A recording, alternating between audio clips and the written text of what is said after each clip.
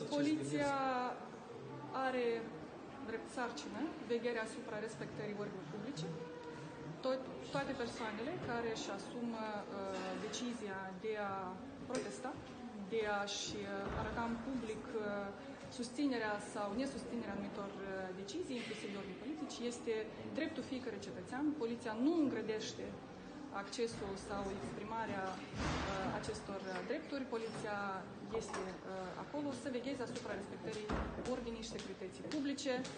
Corespunzător este absolut legal și uh, la asta mă aștept de la toate structurile subordonate să utilizeze legea pentru a asigura această ordine publică, indiferent dacă vorbim despre capitală sau orice localitate din Republica Moldova.